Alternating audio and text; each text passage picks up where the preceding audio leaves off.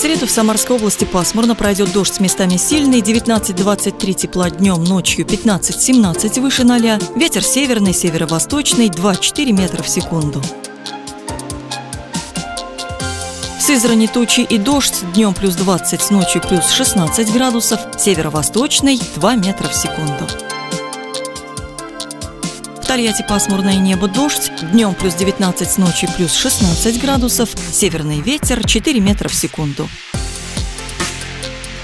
В Самаре пасмурно пройдет сильный дождь. Плюс 19 в дневное время, ночью плюс 16. Северный ветер 4 метра в секунду, атмосферное давление 741 миллиметр ртутного столба. Влажность воздуха 89%, температура воды в реке Волга 18 градусов, геомагнитное поле слабо возмущенное.